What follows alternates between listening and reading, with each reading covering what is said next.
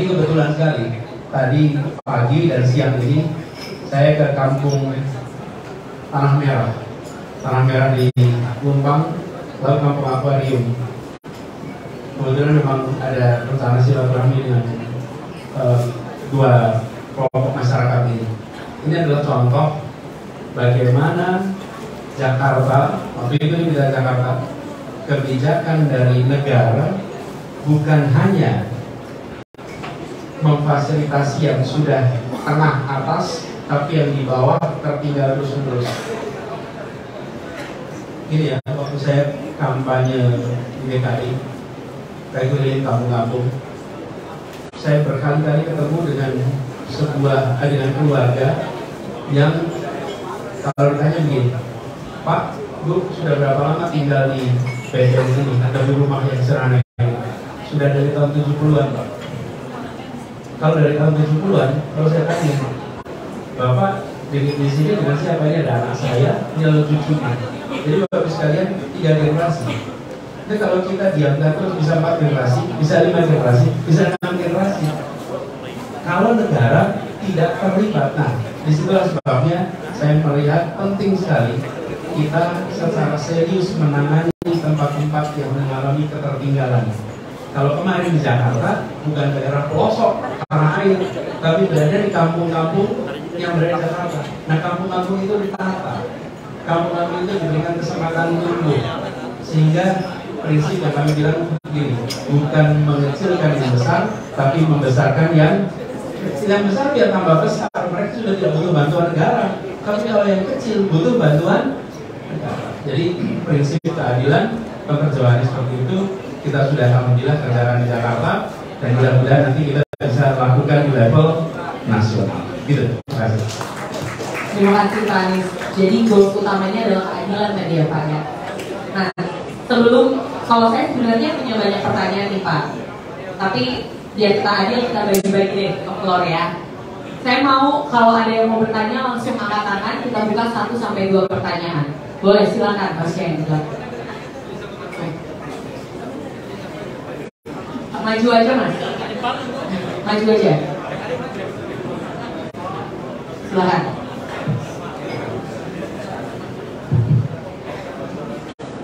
Makasih sama sore Pak Anies, Presiden di atas sekalian. Saya bisa Deliman, Ketua Bidang PKK DPW Kada Bangunan Nasir Maluku.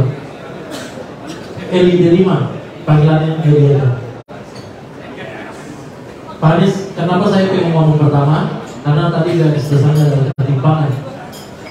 Kita dari DPW Maluku ini baru saja nyampe aja di sini terus karena memang sangat ingin menyampaikan beberapa hal buat Pak Anies, makanya kita ingin datang ke sini. Hal yang paling mendasar aja Pak, kita kalau orang Jakarta itu nggak mungkin ke Maluku kalau nggak ada kepentingan bisnis di sana. Mau jalan-jalan pariwisata itu sangat sulit. Harga tiketnya lebih murah ke Jepang Pak, lebih murah ke Jepang, lebih murah ke Hongkong daripada ke Maluku. Makanya kenapa tadi saya tertarik berbicara mengenai ketimpangan? Ada dua hal yang ingin saya titipkan ya kalau Tuhan berkehendak nanti Pak Anies menjadi presiden. Dan yang kita sudah yakini sebenarnya Pak Anies ini sudah jadi presiden. Tinggal menunggu waktu pada 14 Februari nanti. Mohon maaf DPT kami kecil 1,3 juta. Berdasarkan hasil penetapan KPU kemarin di Maluku namun saya pastikan lewat kerja keras teman-teman dari Pemuda Nasdem di Maluku, Partai Nasdem di Maluku, Pak Anies akan memenangkan pemilu di Maluku. Dan semoga itu juga bisa walaupun kami memilihnya sedikit tapi semoga itu juga bisa menjadi semangat buat Pak Anies bisa menjadi presiden. Dua hal saja Pak masih terkait dengan ketimpangan. Yang pertama jika Tuhan berkehendak nanti Pak Anies terpilih sebagai presiden kita ingin agar moratorium pemekaran daerah otonom baru itu dicabut karena kita bicara wilayah kepulauan rentang kendali kita sangat jauh Pak penduduk memang sedikit tetapi rentang kendali di wilayah kepulauan terutama di Maluku itu sangat butuh. Sudah 13 daerah otonom baru di Maluku diusulkan dari awal pemilihan pemerintahan Pak Jokowi namun karena moratorium maka itu tertunda sampai saat ini dan sangat menyesalkan kami di Maluku. Sehingga jika Tuhan berkenan nanti Pak Anies menjadi presiden, kita lihat untuk pemekaran daerah otonom baru ini sangat penting untuk memutus terkendali itu. Biar APBN itu dia mengalir untuk daerah-daerah otonom baru itu daripada dia harus kita pakai untuk investasi yang mohon maaf harus saya katakan investasi-investasi buang anggaran yang kalau kita lihat di Jakarta cukup banyak ini seperti kereta cepat dan lain-lain. Seandainya itu dialokasikan untuk kita membawa ketimpangan tadi menjadi visi besar dari Pak Dan yang kedua adalah kita orang Maluku kalau misalnya ada teman-teman tadi saya lihat beberapa juga yang di luar hubungan nanti asal Maluku ini pasti setuju dengan saya. Saya bilang akan sampaikan bahwa kita sudah di berkali-kali oleh pemerintahan Presiden Jokowi hari ini mohon maaf karena Perpres Maluku sebagai lumbung ikan nasional dari awal pemerintahan sampai hari ini baru pernah ditindaklanjuti. Presiden dan menterinya benar warawiri Maluku setiap tahun itu bisa dua sampai tiga kali, tapi sampai saat ini legalitasnya belum bisa terlaksana. Itu yang saya ingin titik atas nama semua teman-teman. Karena pemuda Maluku kan jika terpilih menjadi presiden. Peraturan presiden Maluku sebagai ikan nasional kiranya bisa dinaikkan dan itu dia sangat berkontribusi bagi itu masyarakat bagi masyarakat masyarakat Maluku terutama dalam pembangunan anggur impor dan sebagai tiang-tiang penyangga Maluku sebagai lumbung nasional. Mungkin itu saja masukan dari saya untuk uh, Pak Anies sebagai calon presiden agar bisa uh, lebih bisa mengetahui informasi yang terjadi terutama kami di Maluku yang sangat sedikit mungkin informasi dari Pak Anies. Terima kasih.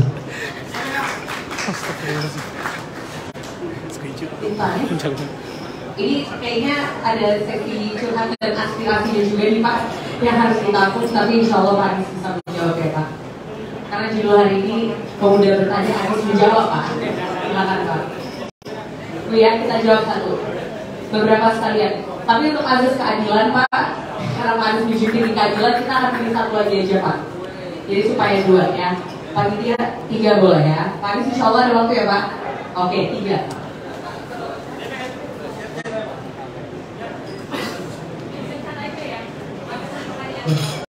Bismillahirrahmanirrahim. Assalamualaikum warahmatullahi wabarakatuh. Izin Pak Anies, nama saya Sirkan dari PBB. Kebetulan kalau berbicara masalah ketimpangan, saya juga orang timur Pak.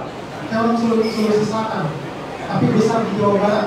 Jadi kalau kata beberapa orang saya itu minim identitas kira-kira gitu. Uh, pertanyaannya sederhana Pak.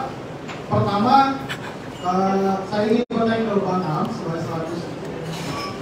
Garda Pemuda Nasdem terkait tentang uh, sampai hari ini. Apa saja yang sudah menjadi peranan gerakan Nasdem untuk internal Partai Nasdem sendiri sehingga juga memiliki sebuah keinginan besar untuk mendorong Pak Anies Rashid Baswedan untuk dicalonkan sebagai Presiden Republik Indonesia ke depan. Terus uh, selanjutnya terkait tentang permasalahan bahwa uh, Pak bahwa bagi saya memahami politik itu distribusi kekuasaan. Politik itu distribusi kekuasaan. Ketika misalkan kita melihat hari ini tadi sedikit disinggung atau banyak disinggung terkait tentang ketimpangan Pak. Kira-kira ke depannya Pak Anies Baswedan untuk menjabat Presiden 2024 sampai 2029 kira-kira apa komitmen terbesarnya untuk pemuda ketika melihat hari ini ke depannya juga kita akan mendapatkan yang bonus demografi Pak. Di mana jumlah usia produktif lebih baik daripada non produktif kira-kira apa bukti konkret ataupun misalkan komitmen besarnya? Terima kasih. Walau wassalamualaikum warahmatullahi wabarakatuh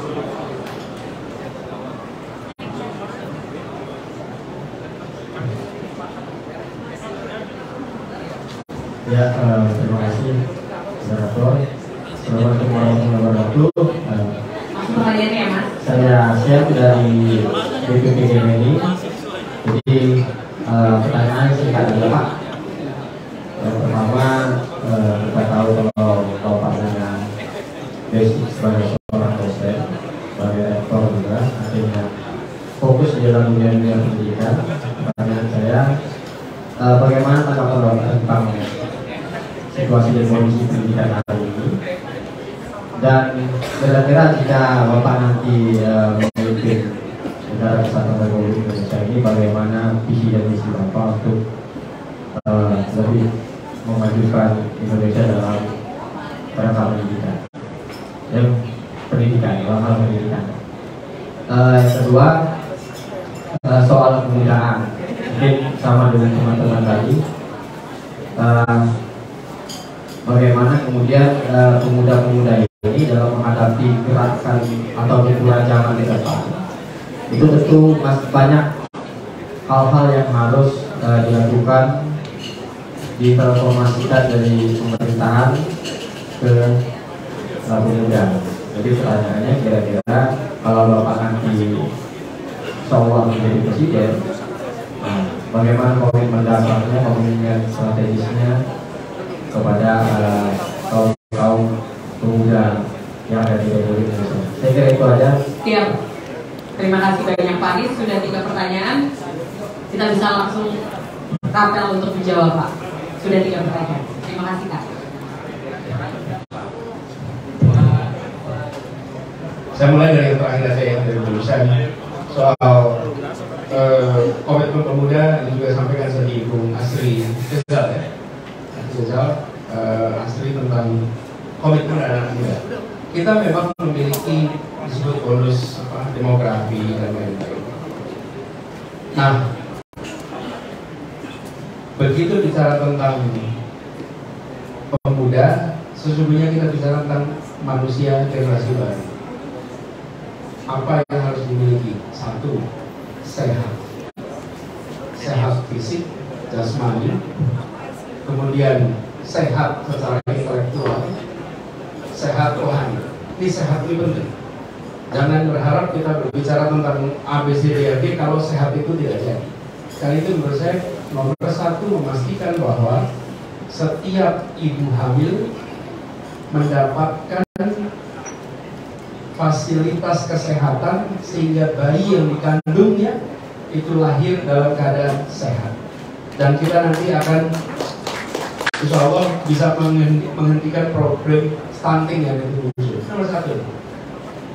Jadi seperti sekarang nih moderator kita nih sedang sedang hamil. Ya Alhamdulillah beliau berkecukupan untuk bisa memastikan bahwa bayi yang dikandungnya itu sehat periksa dokter rutin dan lain-lain. Nah, kita ini satu ya. Jadi jangan sampai kita bicara pemuda itu hanya ngomong yang sekarang usianya 20-an. Kalau ini kita berbicara anak muda itu satu generasi baru. Satu sehat. Yang kedua, dia mendapatkan pendidikan yang baik. Tanpa pendidikan yang baik, sehat tadi tidak tumbuh berkembang potensinya. Jadi pendidikan yang mengembangkan potensinya. Nanti saya akan sedikit bicara soal pendidikan. Lalu setelah mereka terdidik dengan baik, apa pendidikan baik ini? Dia bisa mengembangkan semua potensinya, dia bisa meraih apa yang dia cita-citakan, dan dia bisa menjadi manusia mandiri yang bermanfaat bagi sekelilingnya dan membahagiakan bagi dirinya dan keluarganya. Gitu kira-kira. Itulah yang kita harapkan nanti muncul. Kalau itu sudah jadi, muncul apa yang berikutnya? Memastikan ada ruang untuk berkarya. Ruang untuk berkarya itu bahasa sederhananya lapangan kerja. Tapi kalau lapangan kerja itu kan seakan-akan jadi penjajah ilmu untuk mencari kerja, gitu kan? Saya istilahkan ruang untuk berkarya. Ada yang bilang gitu, Pak, kalau itu jangan hanya dikasih ikan, tapi kasih kailnya. Oh iya, kasih ikan penting, kasih kail penting. Tapi ada kolamnya lebih penting lagi. Iya. Nah, Anda kalau punya kail terus nggak ada kolam, lebih frustasi gitu. Betul nggak? Nah, jadi kita harus memastikan bahwa ada ruang berkarya. Nah, ruang berkaryanya apa? Satu adalah dengan employment, Anda mencari kerja. Yang kedua, kesempatan untuk self-employed. Kesempatan untuk bisa berwira usaha. Jadi kesempatannya diberikan dan anak-anak muda sekarang punya kecenderungan berani berwirausaha. Jadi saya melihat ke depan ruang apa yang diberikan pada anak-anak muda ada ruang untuk mereka bisa berkarya. Baik itu berkarya dengan bekerja pada orang lain ataupun berkarya dengan bekerja sendiri. Lihat kafe ini, yang punya anak muda, betul tidak? Iya, dan sekarang kita menyaksikan di berbagai wilayah di seluruh Indonesia. Kita akan ketemu dengan karya-karya itu. apa yang dibutuhkan untuk ini? Negara harus bisa memberikan dukungan. Kami pernah lakukan di Jakarta. Namanya Jakpreneur. Di mana negara memfasilitasi dari mulai memberikan namanya IUMK, izin usaha mikro kecil, sampai fasilitasi uh, pelatihan, sampai fasilitasi akses kredit. Sehingga anak-anak muda punya kesempatan untuk menumbuhkan usaha. Karena kalau tidak, yang bisa berusaha adalah anak muda yang orang tuanya sudah kaya. Dan dalam kenyataannya, tidak semua anak muda lahir dari keluarga yang mampu. Nah ini yang kita pikirkan. Jadi satu sehatnya, dua pendidikannya, dan ketiga kesempatan untuk berkarya. Nah, bagi yang generasi sekarang, waktu sekarang, saya melihat di dalam masa pendidikan harus diberikan kebebasan untuk berorganisasi. Ditumbuhkan kepemimpinan melalui organisasi-organisasi kemahasiswaan dan jangan pernah membungkam organisasi kemahasiswaan. Justru organisasi mahasiswa itu menjadi tempat kita melakukan kaderisasi pemimpin-pemimpin masa depan dan jangan direcoki dengan partai intervensi ke ormas-ormas mahasiswa. Ormas mahasiswa itu harus dibebaskan dulu. Biarkan mahasiswa mengambil posisi yang objektif. Contoh saya ulang ya, objektif bukan netral. Beda ya, beda. Anda objektif, Anda boleh berpihak, tapi Anda harus objektif. Bahaya kalau mahasiswa tidak berpihak, ada penindasan nggak boleh berpihak, ada ketidakadilan tidak boleh berpihak, tidak. Mahasiswa anak muda boleh. Jadi saya lihat negara hadir memberikan ruang bagi anak-anak muda, terutama aktivis-aktivis untuk bisa menumbuhkan aktivismenya, termasuk sikap kritisnya, dan itu bagian dari uh, pendidikan untuk kepemimpinan ke depan. Lalu soal bagaimana berjalan pendidikan, pendidikan ini tema yang semua orang bisa diskusi. Semua rumah tangga bisa diskusi. Tapi saya ingin sampaikan, kalau bicara pendidikan, komisi 10 di sini, pakar-pakar semua di pendidikan. Komisi komisi 10. Jadi kalau bicara pendidikan, teman-teman itu besar sekali. Jadi kalau boleh saya apa summary-kan apa yang harusnya jadi fokus kita itu kualitas guru dan kualitas kepala sekolah. Dua itu menurut saya sumber utamanya. Dari sana baru turun nanti banyak. Kawan-kawan di sini semuanya, kalau saya mau tanya sekilas, tadi Bung Sam yang ya, suka pada sebuah mata pelajaran itu karena bukunya atau karena gurunya? Gurunya. Saya tanya, suka karena bukunya atau karena? Gurunya. Ada karena bukunya? Jarang sekali. Jarang sekali. Karena itu kita harus menghadirkan guru-guru yang menyenangkan. Guru-guru yang iya. Sekolah kita terus. Kalau saya prinsip saya nasi bilang para sekolah ini. Kalau ada anak-anak datang ke sekolah itu dengan berat hati, berada di sekolah berat hati, pulang sekolah senang hati, sekolah itu bermasalah. Tapi kalau datang dengan senang hati, di sekolah senang hati, pulang berat hati, itu baru bagus sekolah. Jadi kualitas guru ini yang sangat menentukan. Dua kepala sekolah. Teman-teman, Anda mengelola organisasi. Yang menentukan organisasi itu berjalan dengan baik apa tidak siapa pertama? Pemimpinnya. Pemimpinnya. Jadi rektornya, kepala sekolah, ya ini harus memiliki kepemimpinan yang baik. Karena kepemimpinan itu yang menentukan kualitas sebuah sekolah. Tapi yang kita sering kotak atik itu bukunya, kurikulumnya, proyek, proyek, proyek. Padahal ketika ditanya ada suka pelajaran kenapa? Guru. Jadi fokuskan di situ dan perhatikan negara-negara yang pendidikannya maju hampir selalu kualitas gurunya baik. Nah, guru berkualitas itu ditopang oleh beberapa hal. Satu, gurunya bisa konsentrasi ngajar. Kalau pendapatan dia hanya bisa untuk hidup 15 hari, ya 15 hari kemudian ya kesulitan. Jadi pendapatan dia harus cukup, kesejahteraan guru harus baik sehingga dia bisa fokus pada kalau enggak ngajar sambil les.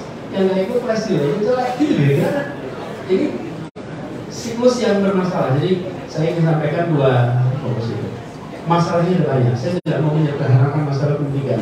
Saya pernah otak di situ agak panjang. Ditambah lagi distribusi. Yang dari Maluku dari mana Maluku? Maluku. Kami itu mengirimkan guru-guru ke, ke kepulauan Tanimbar. Itu paling selatan ujung.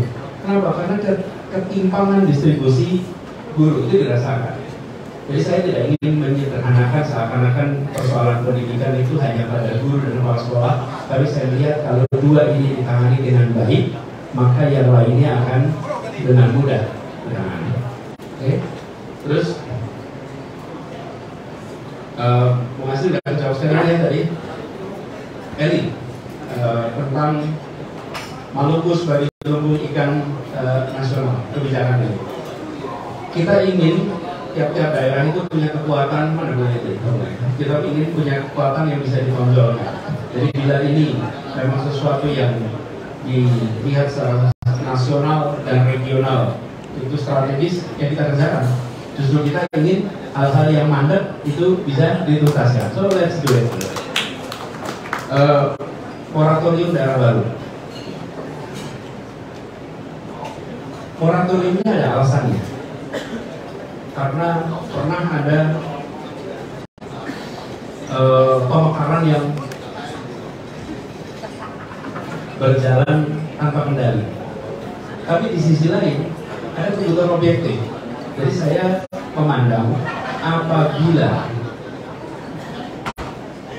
pertimbangannya adalah teknokrasi untuk pelayanan pemerintah lebih baik sehingga dibutuhkan unit baru maka itu patut jalan tapi bila pertimbangannya politis jangan nanti karena beda suku beda kabupaten.